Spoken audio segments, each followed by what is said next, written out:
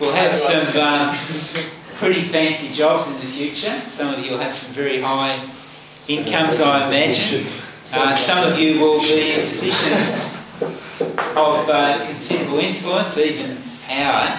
But can I encourage you, you know, whatever ha- happens and whatever you have or don't have, that you actually keep aware of the soul part of life, the, the sort of inside part, that at the end of the day is more important than you know, all the things you might do or What's the say. soul part of life? I'm I'm sort of, you know, you talk about heart, mind, soul, whatever, soul, sort of an inner, inner part.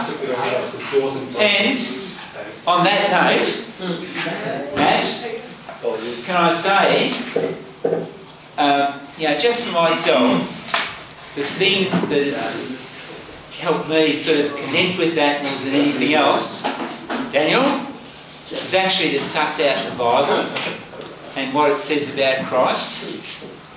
So you hear the chaplain and so on. Well, I guess I'm just uh, leaving you with that thought as a personal uh, reflection too. But I do wish you all the very best in the future. Thanks, Mr. Sim. Thank you. I look forward to seeing you.